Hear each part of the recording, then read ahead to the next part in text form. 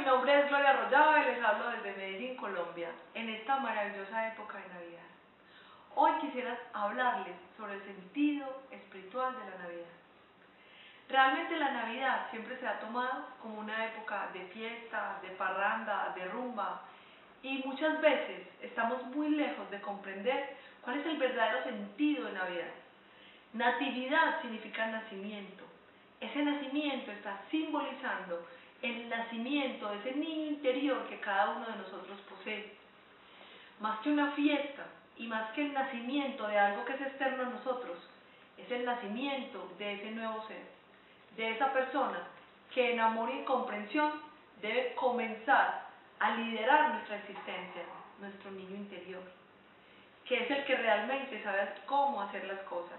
Ese niño interior que hemos ido perdiendo porque las creencias, la cultura, las normas, las reglas, las imposiciones y toda la ignorancia acumulada que nos han venido entregando no nos permite conectarnos con ese niño, ese niño espontáneo, amoroso, que todo lo comprende, que no juzga, que no siente odio, que jamás tiene resentimiento y que prefiere tener amigos a estar conectado con su ego y con su orgullo. Es así pues como la Navidad tiene un símbolo tan bello. Y vamos a hablar del símbolo de los regalos, los regalos de Navidad. Ese regalo que podemos dar de Navidad, que es de nuestro interior. Lo que podemos dar durante la Navidad es nuestros dones, nuestro regalo, nuestro ser.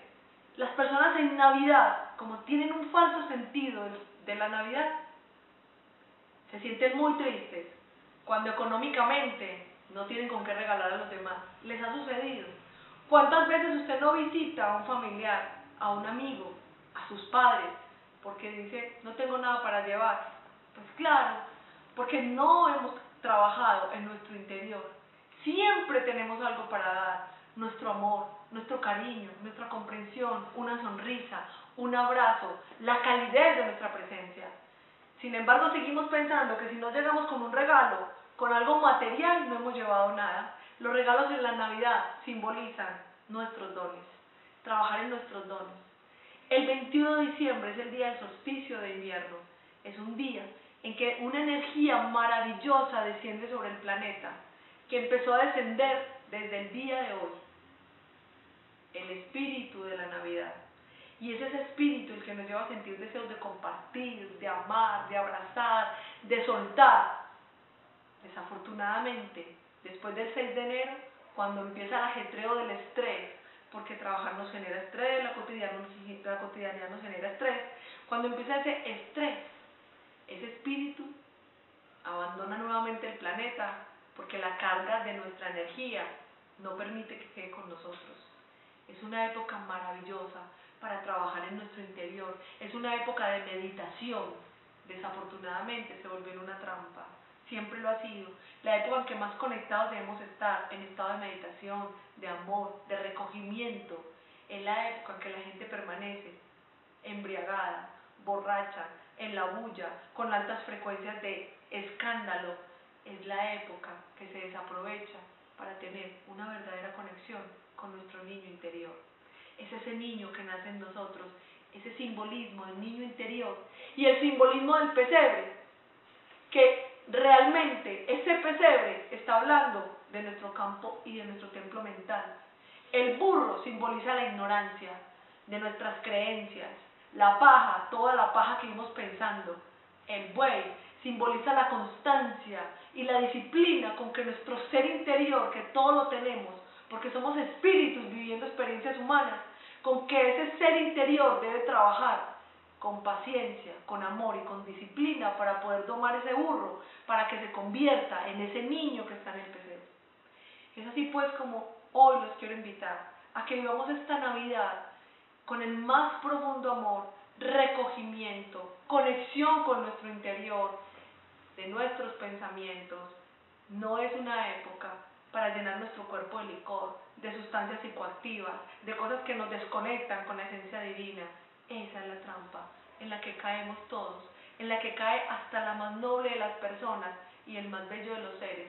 Afortunadamente, hay muchas personas que hemos despertado conciencia con respecto a esta Navidad y decidimos vivirla en sobriedad, en alegría, en felicidad y hemos dejado de confundir la alegría, la euforia y la felicidad con estar borrachos, en escándalo muchas veces en estados lamentables de agresión. Les deseo una feliz Navidad, un feliz año 2017, que este año 2016 nos haya dejado la comprensión de que todo lo que pasó eran solo aprendizajes, no fue sufrimiento. Y les deseo que para el 2017 lo comiencen llenos de felicidad, de alegría, de amor.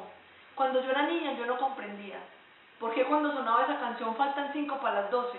Yo veía a todo el mundo en fiesta, enrumbado, bebiendo, y sonaba esa canción y de repente todo el mundo estaba llorando y hasta los niños lloraban. Y yo decía, venga, pero es que hace cinco minutos estaban felices. Eso es burro, ignorancia. Así la gente no le haya pasado nada durante el año, lloran faltando cinco para las doce. Qué bonita manera de comenzar un año, llorando, en lugar de empezar agradecidos y felices. Las familias que no terminaron juntas porque alguno de sus miembros faltó. Las familias que por alguna razón se separaron, se distanciaron, algo pasó Terminó un año de aprendizajes, no de sufrimiento.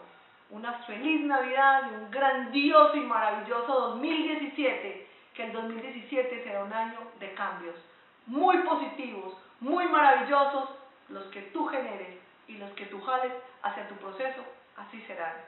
Feliz Navidad y muchas bendiciones.